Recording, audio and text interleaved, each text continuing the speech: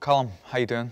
I'm good, mate. How are you? I'm, I'm doing okay. Um, we've got the fight with Joe Smith Jr. announced, and uh, how you feeling about that? I'm excited. I'm excited. It's a fight that's been spoke about before a few times, and um, it's been in the pipeline really for a couple of years. Even before COVID, it got mentioned, and you know, it's a fight that I'm kind of. Uh, it's a fight that'll get me excited. It'll make me train hard. You know, I know it's a tough fight, but it, it's a fight that excites me. I suppose looking at your last performance, you would probably admit that it wasn't one of your better performances against a negative opponent. Maybe people expecting you just to win. Is this the type of fight that you need to get to get up for a big occasion? It was a no-win fight for me. I, I, was expected to win. I was supposed to win, um, but I knew it was going to be a tough fight.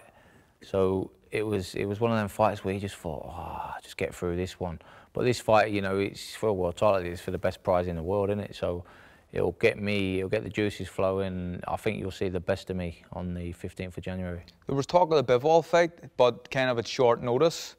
Um, do you prefer this fight? Obviously, Joe Smith Jr., you've got a longer run in, but out of the two of them guys, a long run in for Bivol, long run in for Joe Smith Jr., who would you have preferred to fight um, for a um, world title?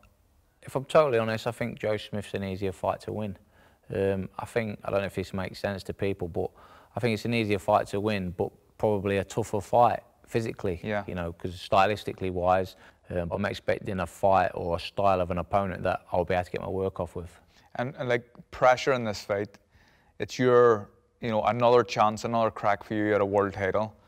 Joe Smith, the home fighter at the fence in New York. Who, who's the pressure on going into this fight? Um, I think the pressure he's, he's got pressures on it on, on him because he's he's wanting to defend his belt. It's in his hometown of New York, um, but there's a lot of pressure on myself because it's probably my last chance. You know, it's it's my last chance to fulfil my childhood dream and, and fulfil what I've always believed I could do. So, but it's a case of you know, dealing with that pressure, not thinking about the pressure and, and just worrying about what I've got to do on, on the night, and that's win the fight. Are you, are you, happy to go back to New York? Because you fought in the Stone Resort Casino before, and you got a, a win over Seanie Monaghan, who was another local favourite. Happy to go back there? Yeah, exactly. Yeah, um, I, I, enjoy I enjoy going to America anyway, whether it's boxing, holidays, or whatever. I love going to America. So, and I've been over there a few times in the amateurs as well. So travelling is not a thing that bothers me. Um, I've been to the Turning Stone Resort you know, I performed well when I went there, so I'm used to it. I've been there before. I know what to expect. Uh, so yeah, I'm looking forward to it. I'm, I'm quite pleased it's there again. What do you think of his last performance against Vlasov? A lot of people, some people thought he mightn't have won that fight. How, how do you feel it went? Um, I thought he probably just got shaded out, to be honest, as well. It was a close fight. It was a tough fight. But I thought Vlasov maybe just deserved to nick it, but the judges obviously saw it the other way. Um, but you can't read too much into that because now he's a world champion. Now he's going to act like a world champion, feel like a world champion. So that might bring his performances up, you know, to another level. Um, but I, I, tend not to worry too much about what happened then or what happened here because the, the only thing that matters is what's going to happen on that yeah. night. And, and, you know, all I tend to really worry about is myself, get myself in the best position, the best shape, and I'll, I'll, do everything right over the next weeks to, to make sure you get the best version of me on that night. If you're preparing like that, thinking you're going to get the best version of Joe Smith Jr., how do you think he's going to prepare for you after seeing your last performance? Is that something that could maybe play into your hands where he might think this is an easy enough fight? Maybe, maybe, but I, I think he'd be more professional than that. He's seen me, we both boxed on the same show that night when I fought in New York. He's seen me perform he knows Seanie Monaghan very well. He saw the way I dealt with Seanie. So he knows if he's getting that kind of version of me, he knows he's up against it as well. So I think he'll prepare like he's going to be coming up against a, a good Callum Johnson. And, you're the man who had Beterbiev over, probably the bogeyman of the division, although he's a champion. No one really wants to fight him anymore. He's a, he's a, we've seen Canelo bypass light heavyweight and go up to cruiserweight. You had him over does it go the distance at all, I, I or someone so. getting knocked out? I don't think so. I think I think stylistically, someone's got to get knocked out. But I just think that his style suits me down to the ground, and I do think I'll get my bombs off, and you know, I don't think he'll be able to take them. Just not not because he won't be able to take them. I don't think anybody can take them. Mm. If I can get my power shots off, I don't think people can take it. It's as simple as that, and I think he's going to be there for me to get the shots off. I hate to look past fights, but We've got another big fight in the UK coming up as well before your fight in Arthur and Yarde. If you beat Joe Smith Jr., is that a fight? That fight makes sense, doesn't it? The yeah. winner of Arthur and Yarde. yeah, Yarde. of course it does. That that's what that's a great um, plan for for everybody involved. You know, obviously I've got a task on my hands. I've got to go win the fight, but uh, great, bring it back to Britain, have a big, massive domestic showdown against maybe the winner of Yarde Arthur. You know, it, will sell out an arena, I'm sure, with that. So that that's what I'm looking at and hoping to be able to create. Would you agree that Beterbiev is seen as the number one in the division? Yeah, definitely. I think until until he gets beat, he, he's a number one man. Um, and actually, no one wants to fight him. But is that a fight you would take again for a unification one fight, possibly? Percent, one million percent. If I if I could get that chance to have that again, um, I know I got beat, you know, I got stopped in in a four round in a four round classic. Really, it was it was a great fight while it lasted. Um, I had my moments, he had his moments, and he come out on top. But I'd like to have a go again, just to mm.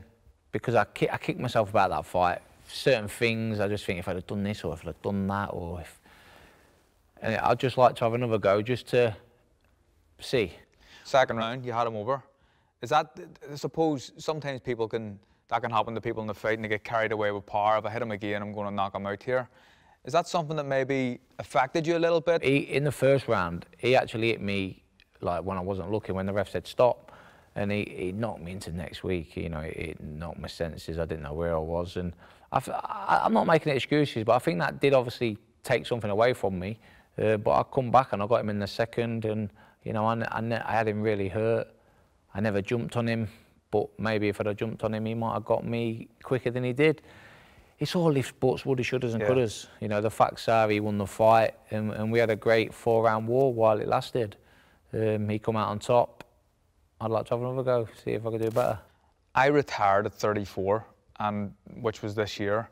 At 34, I felt like I was 44 probably. How, how you feel? You're two years older than me, 36. How you feeling I feel yourself, fresh. like physically? Yeah, I feel fresh. Um, I've had a slow career. I've had a lot of time out. And, yeah. You know, I haven't got loads of miles on on the clock. So, you know, I mean, people talk about it. It kind of baffles me when people talk about age and old, and and I think, well, I'm not. I don't feel old. Yeah. I don't. I don't feel. I don't feel like 36 is old, but maybe I'm just I, I think that's a big a big deal. Though. I think age is really just a number, and it depends how you feel personally. Yeah. Personally, for me, I feel like I was probably burnt out at 34 because of the the first part of my career. I was doing stupid amount of rounds sparring, and I think it just caught up on me. But like as you said, you, your career has been a bit of a slow burner, and you've had time out of the ring, and I think it's probably 30, 36 for a light heavyweight isn't isn't that old, really? Nah, not not not for me anyway. And, and, as you say, I've not done loads of rounds with the the breaks I've had from boxing. I've not done loads of rounds in the gym. I've not had hard spars all the time, and you know, I don't feel like I've got miles on the clock. And my training shows that as well. You know, I've been doing PBs this year. I'm 36 and I'm I'm PBing on certain things. I'm PBing on my running. I'm PBing on my strength work. And you know, when you you're hitting personal best at 36, it shows that you know you've still got it in the in the tank, and, and that's what I've done. So, but at the same time, I haven't got forever left. I haven't, you know, do, it is going to catch up on me at some point. But you look at you look at Bernard Hopkins. Eh, I might I might be the next Bernard Hopkins eh, and go until I'm 49. Bernard so, Hopkins, the man Joe Smith knocked out. Yeah, yeah, that's that's where he sort of made. I'll get revenge for him.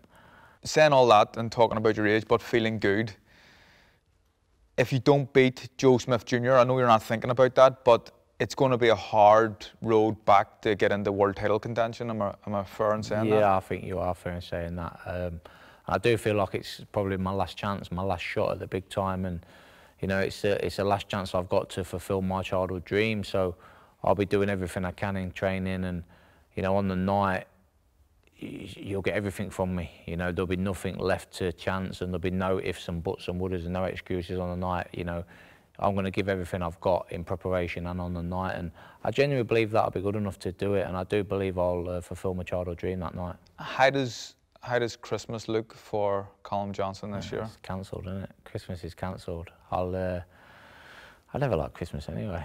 it costs it costs me too much money. Um, But no, I'll have, I'll have Christmas Day You still have to boys. buy presents. Yeah, I know, I know. I'll have Christmas with the boys, and you know, I'll enjoy Christmas Day. But it's, um, you know, it's one of them sacrifices we have to make. You know, I've got loads of Christmases, you know, ahead of me to enjoy with, with my boys, and and hopefully, if I can pull this one off and win this fight, you know, we're gonna we're gonna enjoy a lot of Christmases together in a better position as well. So.